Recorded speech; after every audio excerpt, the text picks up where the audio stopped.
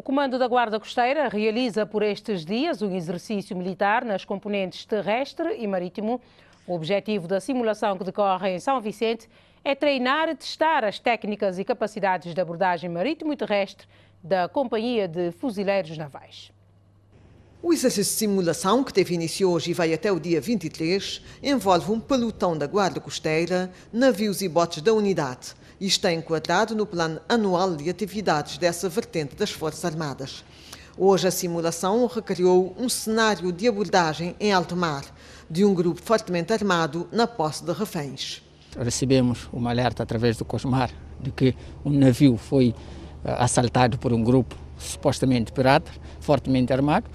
A partir daí desencadeou-se uma operação de resgate de entidades e uh, de apoio ao navio sinistrado.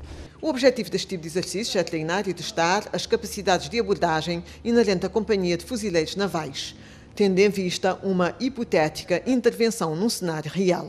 Sendo um pelotão com missões específicas de abordagem a embarcações, vamos testar essas capacidades e também, sendo um pelotão inerente à Companhia de Fuzileiros Navais, eh, vamos alargar o exercício apanhando outras vertentes típicas de, de, um pelotão de atiradores da Companhia de Fuzileiros. Por isso, o exercício começa com operações de abordagem em navios, vamos passar a natação de combate, uh, desembarque e reembarque numa costa hostil, eh, passando para patrulha, patrulhas de reconhecimento e de combate, a tiro de combate.